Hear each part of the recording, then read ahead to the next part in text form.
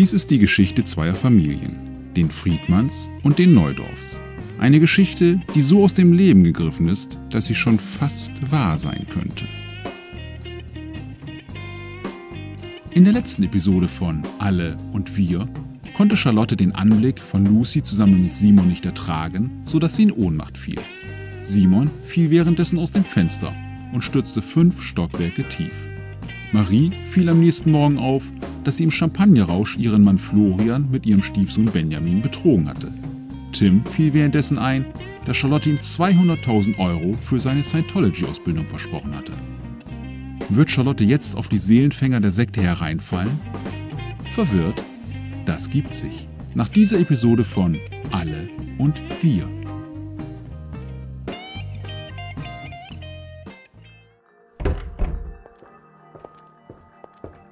Also, Charlotte, das hier ist unser Auditing Room. Sehen Sie die beiden Glasplatten vor sich? Ja.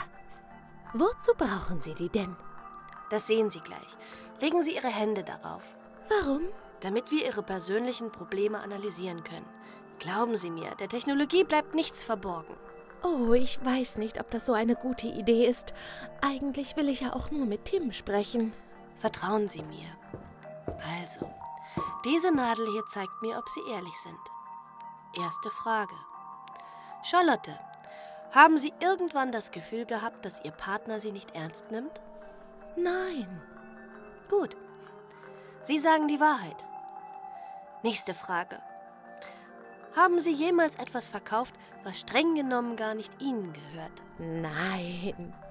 Unglaublich. Sie sagen die Wahrheit.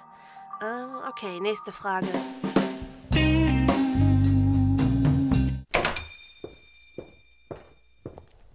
Puh, was ist das für ein scheußlicher Gestank? Naja, das sind die Früchte, die nicht verkauft wurden.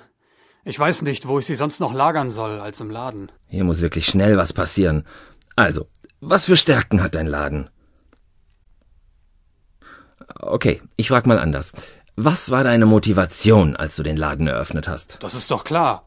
Ich wollte Millionär werden und mich mit 30 aus dem Geschäft zurückziehen. Aha.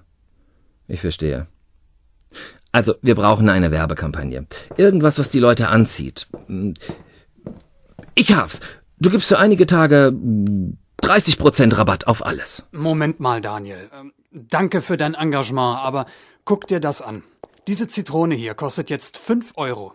Ich soll den Preis jetzt also auf äh, 4,70 Euro senken. Wovon soll ich dann leben?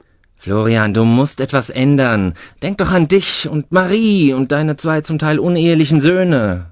Apropos, ich frage mich immer noch, wo Marie ist.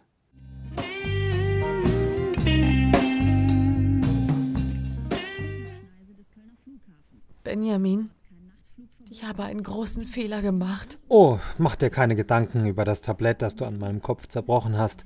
Siehst du, es blutet schon gar nicht mehr. Nein, ich meine, dass ich meinen Mann mit dir betrogen habe. Wenn er das herausfindet, sind wir erledigt. Keine Angst. Er wird es nie erfahren.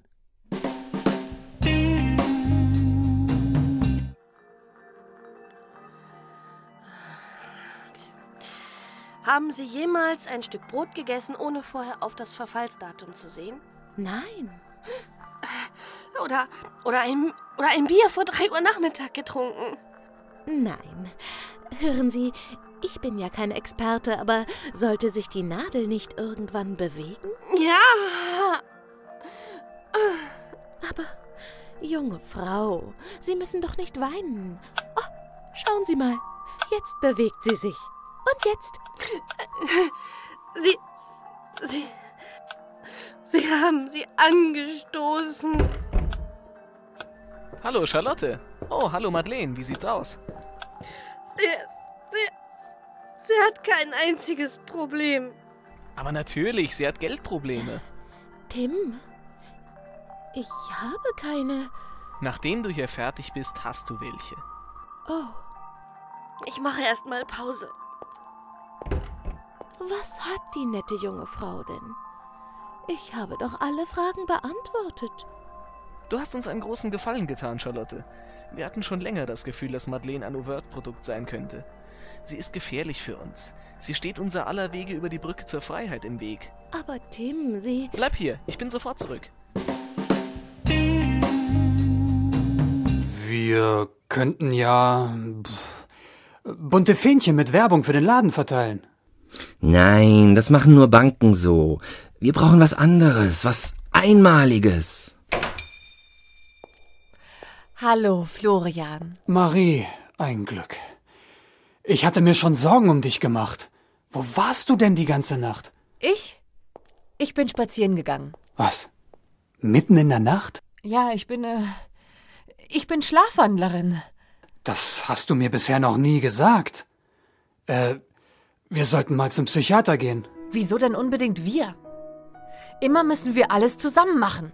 Aber, Marie, ich liebe dich doch. Ja, aber du liebst mich einfach, einfach zu viel. Ich fühle mich manchmal, als, als würde ich ersticken. Aber, Marie, Nein, lass mich. aber, Marie! Ja, ja, konzentrieren wir uns mal wieder auf das, was wirklich wichtig ist, nämlich wie wir Werbung für den Bioladen machen. Daniel, hast du nicht gesehen, was gerade passiert ist? Marie liebt mich nicht mehr?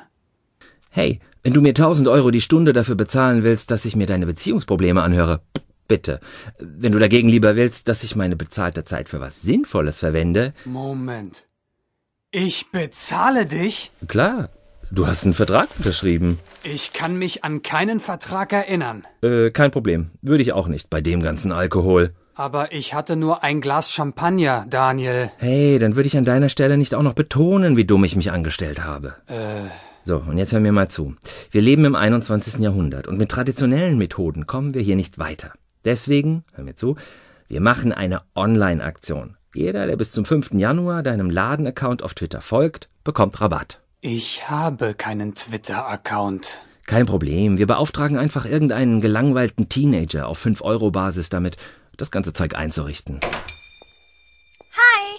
Lucy, gerade haben wir über dich gesprochen. Wird Lucy Daniel und Florian helfen können?